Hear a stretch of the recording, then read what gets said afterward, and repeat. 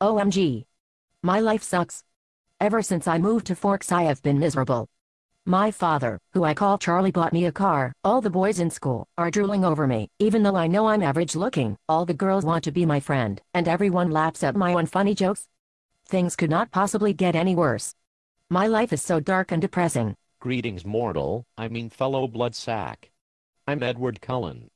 Not in any way, shape, or form trying to convince the audience that I'm a vampire. You are the most beautiful creature I have ever laid eyes upon. You remind me of a Greek god, Adonis.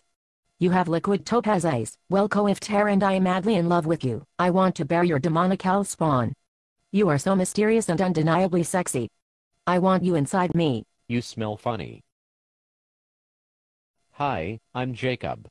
Remember me? Sure, I guess. Don't worry I'm not a werewolf, or a pedophile for that matter. Okie dokie then. Alrighty then, peace.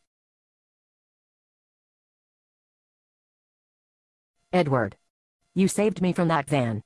Does this mean you want to have sex with me? I didn't save you from Tyler's van. I'm not a vampire you know. Of course you aren't. Vampires can't go out in the daylight without negative effects, and they can't attend school for that very reason. But you did save me. I know you did. I know in my heart that you love me, that we are meant to be. I'm bursting with anticipation Edward, take me now. Vampires can still go out in the daylight, you're stupid and you don't know anything about vampires. Fine, fine, sure, whatever. Can we have a passionate love affair now? No we cannot Bella. You still smell funny. But. I bathed today. Just for you. I'm dangerous Bella, and full of chagrin. We can never be together. Who uses the word chagrin? Do you really want to know what I'm Bella? Really? Yes. Are you sure? Yes. Positive. Just tell me already, and stop being such a melodramatic asshole. Okay then. Bella. I'm a vampire. That makes no fucking sense. Yes it does. I sparkle in the sun, when it isn't cloudy, and I drink animal blood to survive. That's because I'm a vegetarian. I've been going to high school for 90 years, and I'm a virgin. Okay, there are a few things wrong with what you just said. If you drink animal blood, you aren't a vegetarian. Yes I am. No you aren't. I'm older than you, that means I'm smarter so hot. I'll ignore that, because I'm so madly in love with you. Secondly, a virgin? Oh baby we have to pop the cherry. What about tonight? Haven't you been listening? I'm dangerous. I've killed people.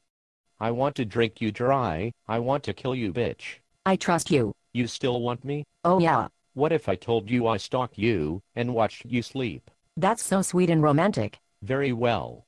Let's start dating. What will your family think? Everyone will instantly love you, except Rosalie who is a bitch, Mary Sue. My name is Bella. Alright.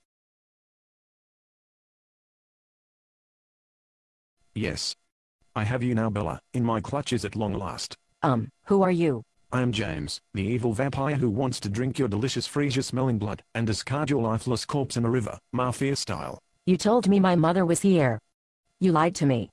You only want me, because I am so madly in love with Edward. Actually, there really isn't any practical reason why I'm the primary antagonist. Perhaps if my character was delved into, my merits and flaws explored, my motivations better examined, I would possess an element of realism essential to a well-written character. So, why do you want to kill me? Because Stephenie Meyer said so. Who is Stephenie Meyer? You, 30-some years old, in an alternate dimension, where you're a human with believable flaws who has made millions off of this mindless mess. What mindless mess? Oh no. I've said too much. I must turn you now with my venom into a minor pyre. Don't you mean vampire? Um, sure, right, exactly. Here I'm to save the day Bella. Bella? Where is she? I bit her, infected her with my venom, and now she will become a Meyerpire. You mean vampire, right? What the fuck ever? Are we going to have an epic battle sequence, or what? The sooner I can leave this hellhole the better. You may be stronger than me, but I'm faster. I will beat you, and save my beloved. Dude, shut the fuck up, and do me in already, I'm so done here. Very well. Epic battle sequence commences now. Bella, James is dead, I killed him. My family helped, but remember I'm the hero.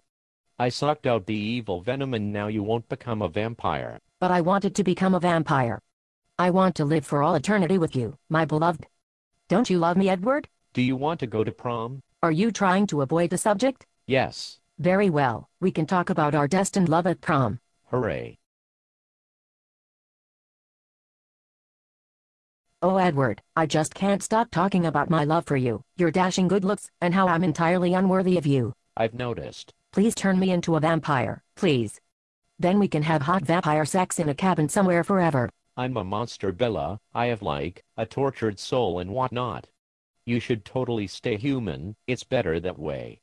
Besides, vampires never sleep. We would run out of things to talk about. I could just stare longingly into your eyes for centuries at a time, those liquid topaz eyes. Yeah, you mentioned those before. Edward, Yes, Bella. do you love me? Despite having absolutely no reason, yes, yes I do love you. Though while I may say I love you, know that I'm being forced to by Stephenie Meyer. You're the second person to mention her to me. That's because Stephenie Meyer said so is the only excuse to explain the vast majority of this tale. Whatever. Just turn me into a vampire. Let's make with the eternal sex already. You have no ambitions? No dreams? You just want to be my sex slave forever? I had ambitions, however they strangely disappeared after I laid eyes on you for the first time. I can't turn you into one of us, Bella, not ever. Will you ever change your mind? More than likely. So there is hope? You are practically guaranteed a happy ending. Yay.